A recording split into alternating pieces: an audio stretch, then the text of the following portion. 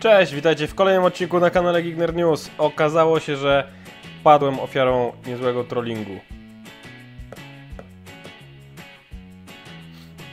Taki mało śmieszny żart. No ale dotarła do mnie najnowsza paczka z wydawnictwa Amit. A może to nie Amit, bo w sumie nie ma taśmy z Amitu.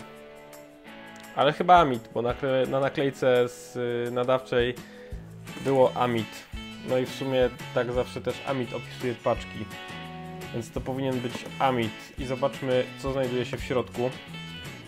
Ja tak zakładam na ten moment, że w środku będzie wypełniacz. No i przegrałbym zakład, bo nie ma wypełniacza. E, W środku oczywiście są e, nowe książeczki Lego, ale chyba też e, nie tylko Lego, bo i trochę innych się znajdzie, więc ja je może tak wyciągnę poza kadrem i sobie je zaraz tutaj odwrócę i Wam pokażę. Co to tutaj się w środku znalazło? Taka książeczka Rebelia trwa, komiksy, zadania i oczywiście minifigurka. Minifigurka taka, ja to niedługo Wam pokażę w takiej szczegółowej recenzji, więc zajrzymy sobie do środka, zbudujemy tą minifigurkę i rzucimy również na nią okiem, stwierdzimy czy jest fajna, czy jest niefajna. Oprócz tego mamy tutaj również akcję na morzu, czyli też taka książeczka z łamigłówkami, ale i z tymi właśnie elementami do złożenia. Mamy tutaj nurka, jak dobrze pamiętam to Legodaur to chyba wrzucał. I chyba to Maciek albo ktoś inny odkrył ten sekret. Nie, to chyba ktoś inny, ale pod komentarzem Maćka, że te dwie płytki są po to, że to imituje nóżki, a ten klocek imituje główkę w tych e, właśnie blisterkach w kształcie minifigurki Lego.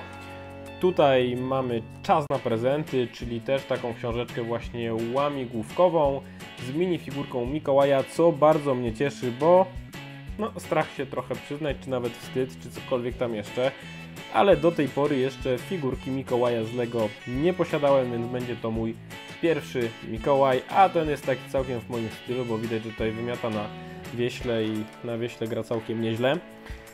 A oprócz tego jeszcze takie dwie książeczki z DC Comics Super Heroes, czyli Super Księga Zadań.